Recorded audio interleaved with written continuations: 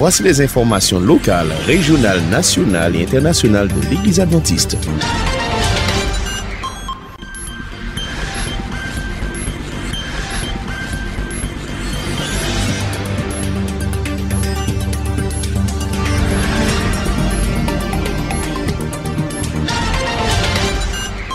Notre journal des informations adventistes, c'est bien maintenant avec à la une la journée mondiale des aventuriers. C'est la fête des aventuriers aujourd'hui.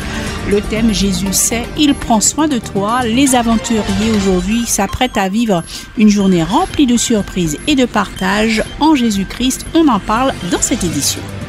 Dernière ligne droite pour le concert d'Ézéchiel 37. 40 ans de carrière, ça se fête. Ça sera ce soir à 19h30 au Palais des Sports du Gosier. Et puis, dans le cadre de la rentrée, les établissements scolaires adventistes recrutent en Guadeloupe et en Guyane. On en parle dans un instant. Tout au long de ce week-end, l'Église adventiste dans différentes communes sera l'initiative d'activités et d'événements autour de la santé et de la solidarité. Voilà pour les titres de ce journal. On se retrouve dans un instant pour le développement.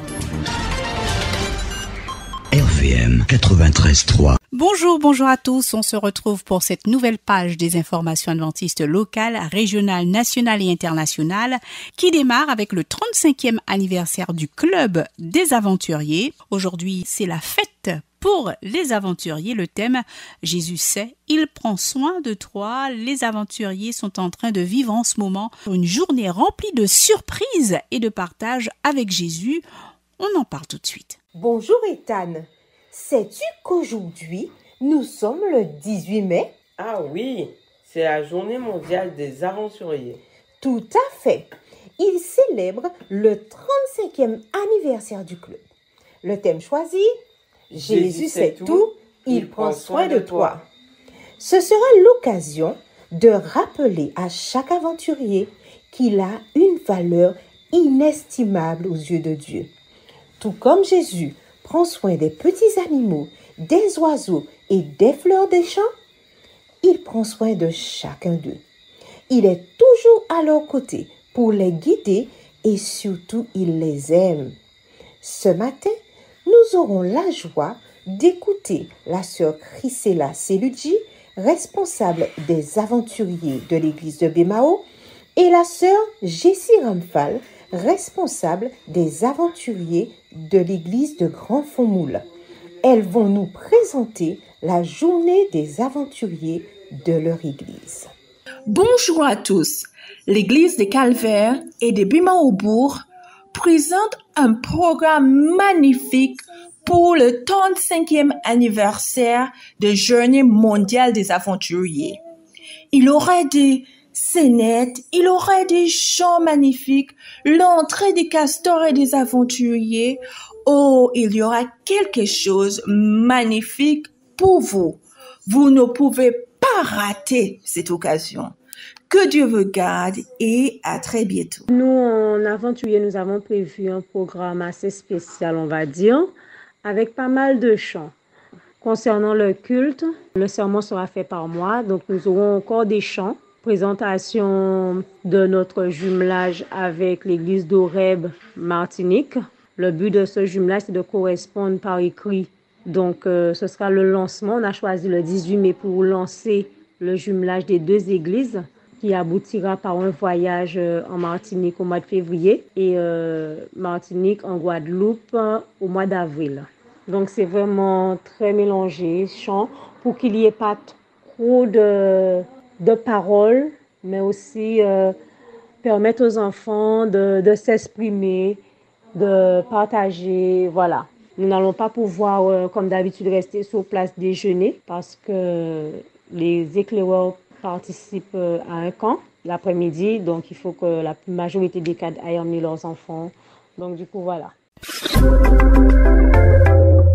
Et on poursuit avec l'actualité des établissements scolaires adventistes et ça sera avec la présidente de l'organisme départemental de gestion des établissements scolaires adventistes de la Guadeloupe, Patricia Sablier. Bonjour chers auditeurs. Alors qu'est-ce que l'OGESA? L'OGESA, c'est l'organisme de gestion des établissements scolaires adventistes de Guadeloupe. Cet organisme regroupe tous les établissements scolaires adventistes de l'archipel. Savez-vous combien d'établissements sont implantés sur notre archipel? Il y en a cinq qui regroupent au total environ 1400 élèves. Alors, quels sont ces établissements? Deux établissements regroupés à la cité scolaire La Persévérance de Boissard aux Abîmes. Ce sont ces deux établissements que nous connaissons le plus, car l'un des deux fait parler de lui grâce aux excellents résultats obtenus dans toutes les préparations qui y sont enseignées. Puis il y en a trois autres, ceux-là on les connaît moins. L'école La Persévérance de Marie-Galante, l'école La Persévérance de Duportail à Sainte-Rose et l'école La Persévérance de Baïf. Et quelle est la particularité de ces trois établissements scolaires? Le savez-vous?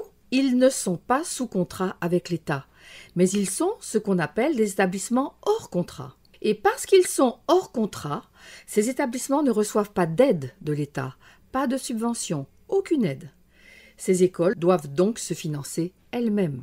Nous allons donc faire connaissance aujourd'hui avec une première école, celle de la Persévérance de Baïf. C'est une école qui euh, enseigne aux élèves de la maternelle au CM2, 69 élèves dont 43 qui ne sont pas adventistes et 5 personnels enseignants non enseignants et évidemment le directeur. Et cette semaine, 10 élèves ont reçu les résultats du premier examen de leur vie d'écolier.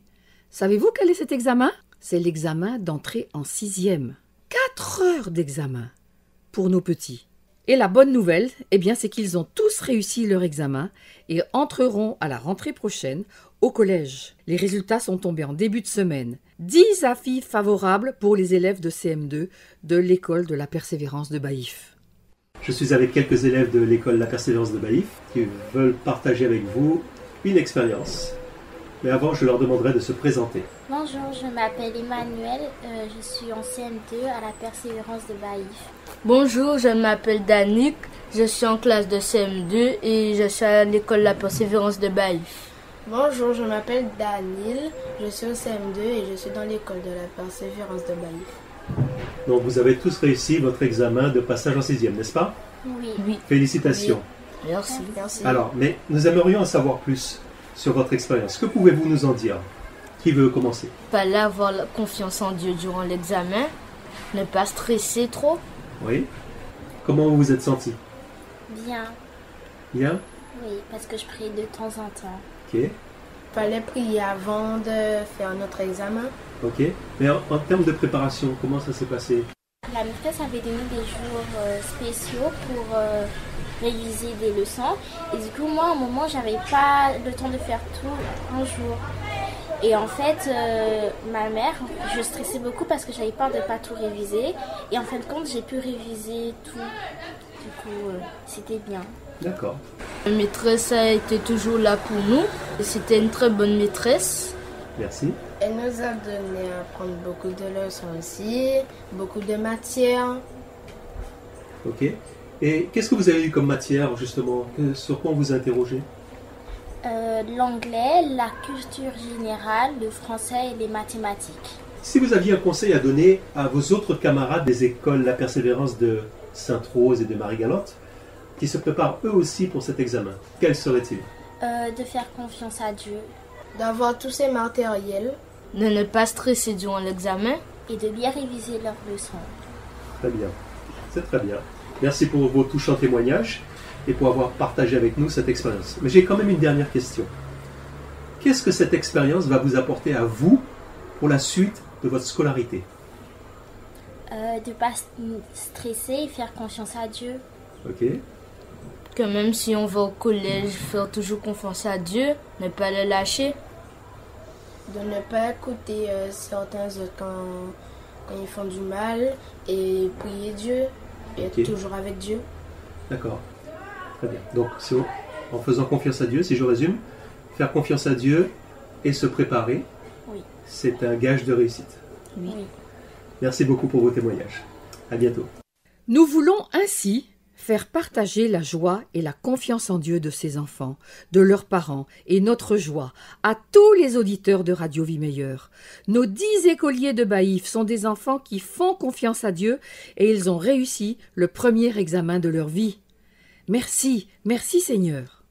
Merci à la direction de cette école, au personnel enseignant et non enseignants, et à tous les personnels bénévoles qui s'impliquent dans le bon fonctionnement de l'école La Persévérance de Baïf. Ce sont de véritables enseignants missionnaires qui œuvrent dans cette école, puisque sur 69 élèves, 43 ne sont pas adventistes. Merci enfin aux généreux donateurs des églises autour de l'école La Persévérance de Baïf. 2024-2025 arrive et de nombreux défis attendent l'école de Baïf. Alors, l'ODGESA fait un appel. Continuons de donner pour le développement harmonieux de cette école. Et si de généreux auditeurs veulent faire un don à cette école, qu'ils n'hésitent pas, téléphonez au 05 90 83 25 73 et on vous dira comment procéder. Ces précisions concernant les établissements scolaires en Guadeloupe ont été apportées, on le rappelle, par la présidente de l'OGESA, l'organisme départemental de gestion des établissements scolaires adventistes. Elle était accompagnée de Cali Kléber, de la cité scolaire adventiste de Baïf. On reste toujours en Guadeloupe avec les établissements scolaires adventistes qui recrutent. Un point sur ces informations avec Patricia Sablier. L'OGESA recrute pour la Guadeloupe et pour la rentrée prochaine, année 2024-2025, du personnel dans les métiers de l'éducation pour les secteurs suivants les services de surveillance, les services administratifs, les services techniques, les services d'encadrement et les services d'enseignement. Une réunion d'information a été programmée et se déroulera le mardi 28 mai 2024 à 16h30 à la cité scolaire La Persévérance de Boissard aux Abîmes. Pour toute information complémentaire, veuillez vous adresser au secrétariat de l'OGESA au 05 90 82 79 76. Les établissements scolaires adventistes, c'est en Guadeloupe, mais aussi Martinique et Guyane. Et dans le cadre de la rentrée, les établissements scolaires adventistes en Guyane recrutent également. C'est ce que nous explique tout de suite la responsable de l'éducation au niveau de l'église adventiste de la Guadeloupe, Corinne Blocaille. Nous avons également reçu cette annonce de l'école La Persévérance de Saint-Laurent-du-Maroni, qui est à la recherche d'enseignants passionnés et dynamiques pour intégrer son équipe éducative pour l'année scolaire 2024-2025. Si vous voulez vous engager dans l'éducation adventiste et tenter une expérience en Guyane, n'hésitez pas à envoyer votre CV et lettre de motivation à l'adresse suivante école.la-du-6 persévérance@wanadou.fr. Je répète école.la-du6 persévérance@wanadou.fr. Le tout sans accent. N'hésitez pas à envoyer votre CV et lettre de motivation si cette expérience en Guyane vous tente. Et comme nous vous le disions dans les titres, dernière ligne droite pour le concert d'Ézéchiel 37, 40 ans de carrière, ça se fête. Un rendez-vous qui plaira à toute une génération qui a connu et vu évoluer le légendaire groupe de négro spirituels de la Guadeloupe, le groupe Ézéchiel 37. Et ça sera au Palais des Sports du Gosier.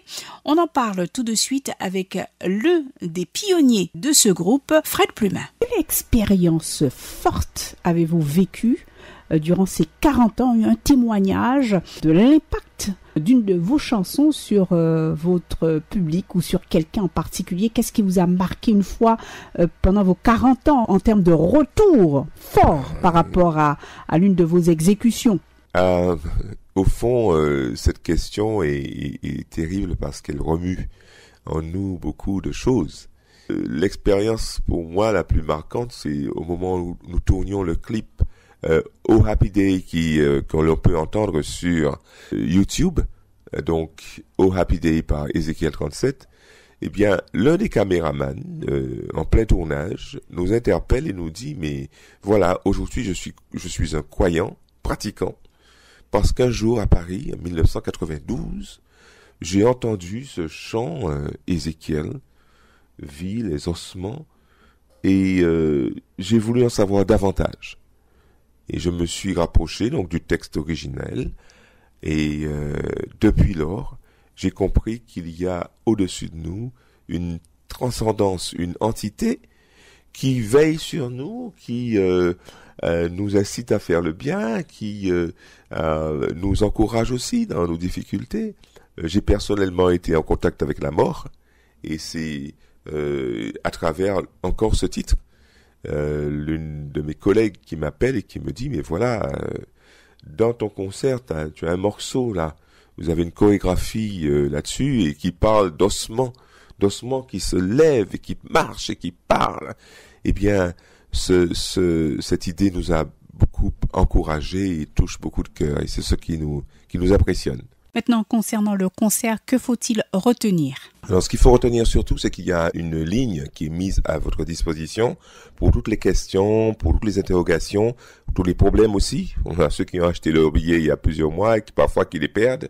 Donc, n'hésitez pas à entrer en contact avec nous, 0690 05 79 07 la manifestation commence à 19h30, mais qu'il faut arriver pratiquement 30 minutes à une heure à l'avance pour bien se garer, pour entrer tranquillement et pour pouvoir s'installer. Le programme lui-même donc inclut non seulement le cœur des sans-voix, mais également les juniors, Ezekiel 37 juniors. Je pense que ça vous plaira.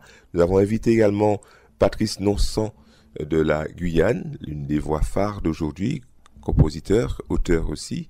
Et nous sommes absolument sûrs que vous allez passer un instant exceptionnel. Ce n'est pas pour nous vanter, mais véritablement pour dire qu'en ces temps particuliers, nous rencontrer autour de la personne du Christ, ça ne peut être qu'un moment joyeux. C'est au Palais des Sports, le 18 mai à 19h30. Et on va en direction de Bemao, où les sections locales de La Retraite, Calvaire et Dubourg organisent en ce moment une belle manifestation. Plus d'informations tout de suite avec Jean-André Patricia. Oui, bonjour à tous. Donc effectivement, le dimanche 19 mai, nous avons une manifestation de solidarité et de bienfaisance de 9h à 16h30. Et euh, c'est avec la participation euh, des trois églises de Bébao, comme on vient de le dire. Donc, euh, il y aura plusieurs stands, des stands de vêtements, euh, nourriture, plantes. Il y aura même un jeu, donc euh, jeu ticket gagnant.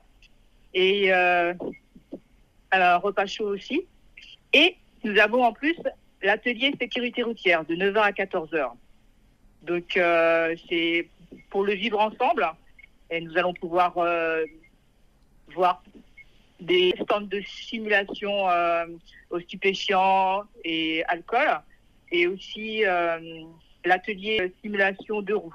Ce sera à l'atelier, juste à l'entrée du bourg de Bémao. Si on veut Voilà. avoir plus d'informations, éventuellement, est-ce qu'il y a un numéro de téléphone? Comment ça se passe? Oui, oui, oui. Donc c'est le 06 90 64 99 08. Donc je répète, 06 90 64 99 08.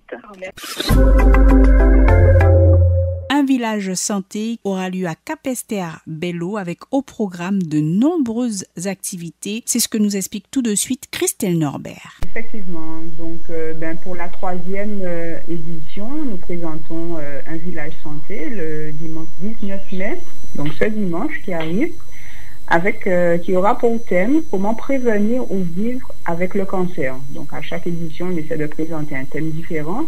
Et on sait que c'est vraiment un sujet euh, d'actualité et qui touche plus ou moins euh, chaque Guadeloupéen, de près ou de loin en tout cas. Et beaucoup de personnes aussi s'interrogent sur ce thème. Donc, nous allons proposer des stands de façon à ce que chacun puisse s'informer. Et il y aura essentiellement des stands sur une alimentation saine en présentant euh, des produits locaux, bio, alors avec des légumes, des fruits. Donc, il y aura des agriculteurs sur place avec leurs produits. Il y aura aussi des produits euh, diététiques Ensuite, on va passer à une partie euh, bien-être et activité physique aussi. On pourra retrouver de l'activité physique sur place. Alors avant tout, à 7 heures du matin, il y aura une marche qui sera proposée. Alors pendant une heure, une heure trente, euh, vraiment une marche découverte. C'est pas euh, une randonnée mais euh, de façon à ce que chacun puisse avoir euh, une petite pratique euh, d'activité physique. Donc la marche sera, aura lieu à 7 heures, mais sinon dans la matinée, il y aura aussi des moments d'activité physique pour les gens qui sont intéressés. Beaucoup d'autres informations seront véhiculées à travers les différentes conférences. Donc cette manifestation se passera au gymnase Gérard Marianne, au bourg de Capesterbello. Euh, pour ceux qui ne connaissent pas, mais qui connaissent peut-être le stade, c'est juste derrière le stade euh, du bourg.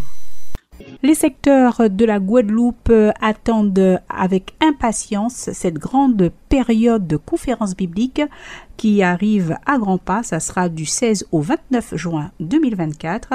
Sont attendus une dizaine de conférenciers venant de l'université d'Andrews, du côté de Capesterbello à Bethel.